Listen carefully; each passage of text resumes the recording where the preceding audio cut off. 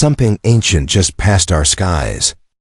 Comet C2025-R2, Swan, a frozen wanderer from the edge of our solar system, has brushed close to Earth after millions of years in deep space. It's a mix of ice, dust, and rock, fragments from the birth of the planets themselves.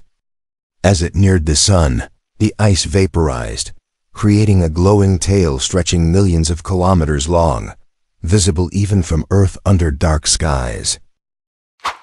Scientists say it came within 39 million km, a cosmic blink, before heading back into the dark. Some comets never survive this journey. They burn, shatter, and disappear forever. But this one endured, leaving behind a trail older than human history. The sky remembers everything. Follow Dark Matter Diaries, where the universe whispers its secrets.